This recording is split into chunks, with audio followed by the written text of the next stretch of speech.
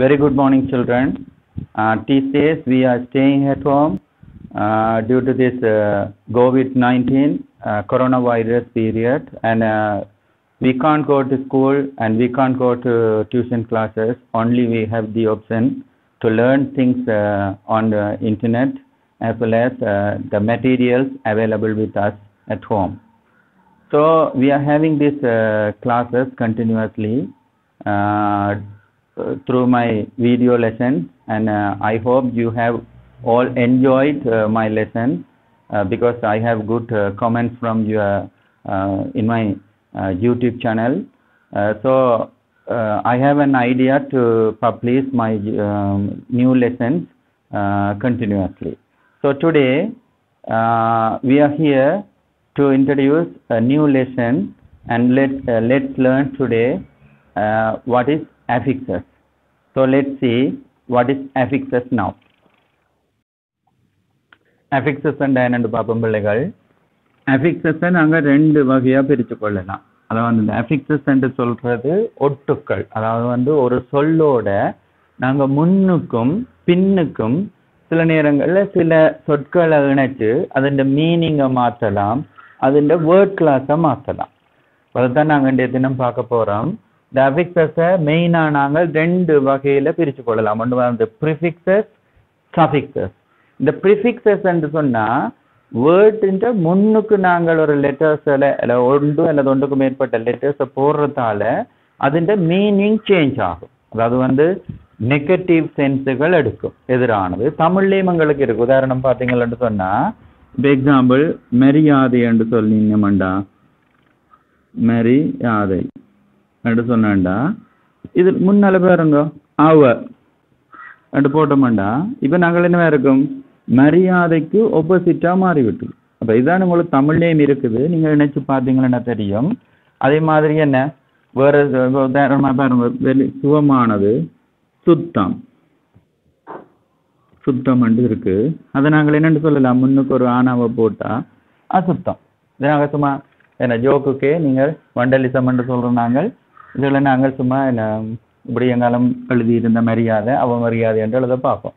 அதே மாதிரி சுத்தம் அசுத்தம் என்று எழுத பார்ப்போம். அப்போ அது ஏற்கனவே எங்கெண்ட என்ன மதர் டங்கில் எங்கண்ட ஃபர்ஸ்ட் லாங்குவேஜில் இல்லை எங்கண்ட மதர் டங்கில் இந்த இது இந்த என்ன ப்ரிஃபிக்ஸ்ன்றதை நாங்கள் லேர்ன் பண்ணுறோம் அது எங்களுக்கு என்ன செய்யணும்? இங்கிலீஷில் கொண்டு வந்து நாங்கள் ஜாயின் பண்ணுவோமா இருந்தால் எங்கள்கிட்ட என்ன பிரயோக ரீதியான ஆங்கில அறிவு வளரும். அதனுடைய நாங்கள் இன்றைக்கு இன்றைய தினம் பார்க்க இருக்கிறது இந்த அஃபிக்சஸுக்குள்ள ப்ரிஃபிக்ஸும் சஃபிக்ஸும் இப்போ கவனமாக பார்த்துக்கொள்ளுங்க பிள்ளைகள். கிரேட் செவன் கிரேட் டென் புக்கில் உள்ள எக்ஸசைஸை தான் நான் இன்றைய தினம் உங்களுக்கு விளங்கப்படுத்த இருக்கிறேன். ப்ரிஃபிக்ஸுக்கு நாங்கள் ஒரு உதாரணம் மூலம் அதை நாங்கள் விளங்கிக் கொள்வோம். உதாரணமாக நாங்கள் அன்ன்றதே எடுப்போம். அன்ன்றது இப்படி இருக்குமெண்டு ஃபார் எக்ஸாம்பிள் இப்போ ஹாப்பி என்று எடுப்போம். ஹாப்பி என்ற என்ன உங்களுக்கு பிள்ளைகள்? நீங்கள் சந்தோஷம். சந்தோஷமாக இருக்கிறீங்க. Are you happy yes we are happy with this video lesson and I am happy with this video lesson அப்போ ஹாப்பி என்று சொல்கிறது என்ன? எங்களுக்கு எல்லாருக்கும் சந்தோஷமாக இருக்குது என்ன வேர்ட் கிளாஸ் எல்லாருக்கும் தெரியும் உங்களுக்கு? அஜெக்டிவ் அஜெக்டிவ் என்ற வேர்ட் கிளாஸாக இருக்குது. இப்போ நான் என்ன வேர்ட்டை சேர்க்க என்று சொன்னால் இந்த ப்ரிஃபிக்ஸாக இருக்கிற அன்னை சேர்க்க போகிறேன் அன்னை சேர்க்க இந்த வேர்ட் கிளாஸில் மாற்றம் இல்லை. அஜெக்டிவ் ஆனது அஜெக்டிவாக தான் இருக்குது. ஆனால் இங்கே என்ன மாறி இருக்குண்டா? மீனிங் மாறி இருக்கு. மீனிங் மாற்றமாக இருக்குது. அப்போ என்னமா இருக்கு? வேர்ட் கிளாஸில் எந்த மாற்றமும் இல்லை. வேர்ட் கிளாஸில் எந்த மாற்றமும் இல்லை. ஆனால் மீனிங் வந்து இங்கே சேஞ்ச் ஆயிருக்கு நெகட்டிவாக மாறி இருக்கு. அதே மாதிரி அடுத்த வேர்ட் எடுக்கிறோம் பாருங்க. ஆனஸ்ட் உங்களுக்கு தெரியும்.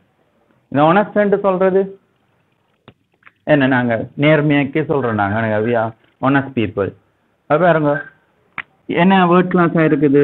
இதுக்கும் என்ன? அஜெக்டிவாக தான் இருக்கு. இப்போ நான் இங்கே இருந்து இது எடுக்க போகிறோம் இதை கொண்டு வந்து போட்டேன்னு சொன்னால் ஒனஸ்ட் வந்து என்ன? ஒனஸ்ட் வந்து நேர்மை. டிஸ்ஒனஸ்ட் வந்து நேர்மை இன்மை. இப்போ நேர்மை நேர்மை இன்மை. இப்போ நாங்கள் கவனித்து கொள்ளுவோம்.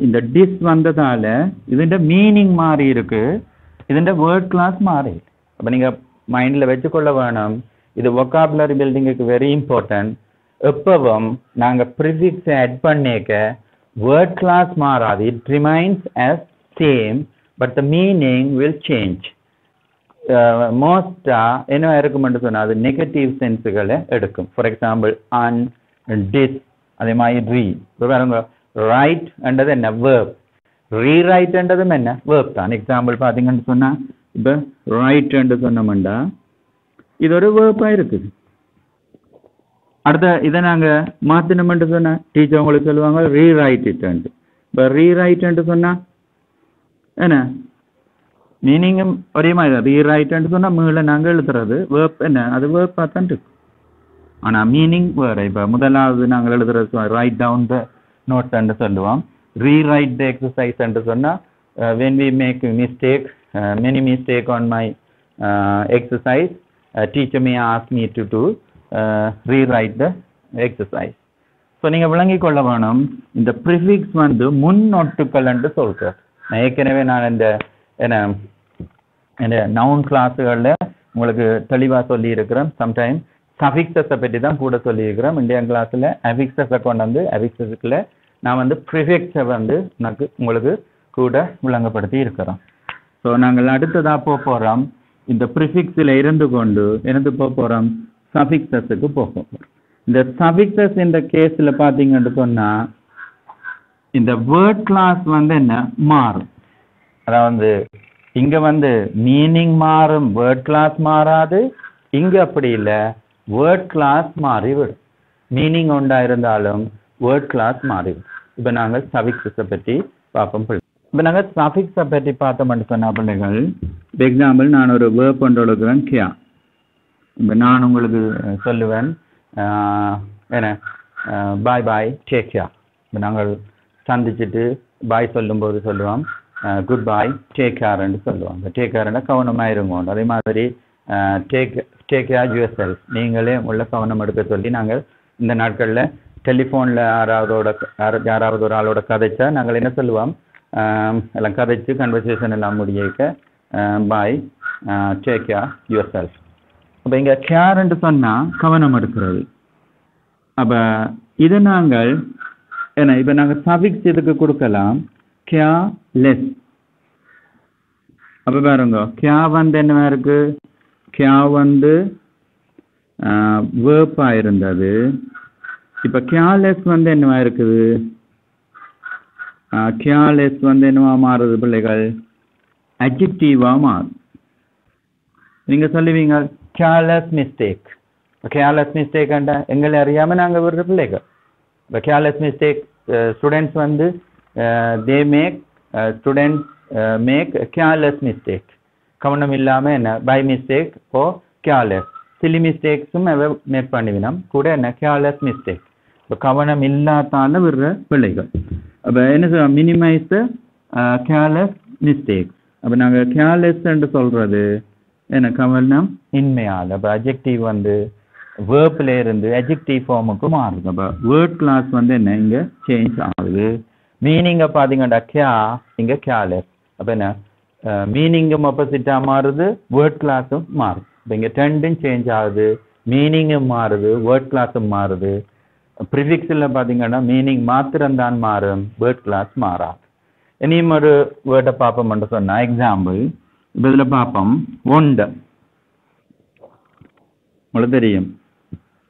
ஏன்னா ஒண்ட வேர்ல்ட் ஒண்ட வேர்ல்டு இருக்குது இப்போ அவிசாவளியில் இருக்கு ஒண்ட வேர்ல்ட் ஏன்னா நீரோட போய் விளையாடலாம் நீரில் இருந்து நிறைய விளையாடலாம் போயிருப்பீங்க.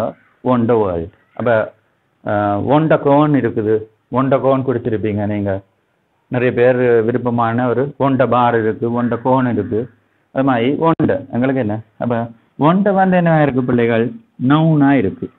இதோட கொண்டு வந்து நாங்கள் என்னத்தை சேர்ப்போம் இந்த ஒண்டை நவுனாக இருக்குது. அது என்னவா மாறும்? ஒண்டை ஒண்டர்ஃபுல்லாக மாறும் இப்போ ஒண்டர்ஃபுல்லோட என்னவா வந்துடும்? Adjective. அப்போ ஏன் உங்களுக்கு சொல்கிறேன்னு சொன்னால் இந்த வேர்ட் கிளாஸ் வந்து சென்டென்ஸில் என்ன லொக்கேஷனில் இருக்குன்றதை வச்சுக்கொண்டு தான் மீனிங்ஃபுல் சென்டென்ஸுகளை நாங்கள் கன்ஸ்ட்ரக்ட் பண்ணலாம். எங்களுக்கு பிள்ளைகளுக்கு வர ரைட்டிங் ஸ்கில்லில் வர குறைபாடு என்னன்னு சொன்னால் அவைக்கு எந்த வேர்ட்டை எந்த இடத்துல சரியா பயன்படுத்துகிறன்றதில் அவைகளுக்கு சிக்கல் இருக்கும். அனுபடியா? ப்ராப்பரா நீங்க இந்த வேர்ட் கிளாஸுகளை சரியான முறையில நீங்க ஓட பண்ணி வைப்பீங்களா இருந்தால் சரியான இடத்துல இருந்த எடுத்து சரியான இடத்துல நாங்க சென்டென்ஸில் அதுகளை போட்டு மீனிங்ஃபுல் சென்டென்ஸுகளை அமைச்சு கொள்ளலாம்.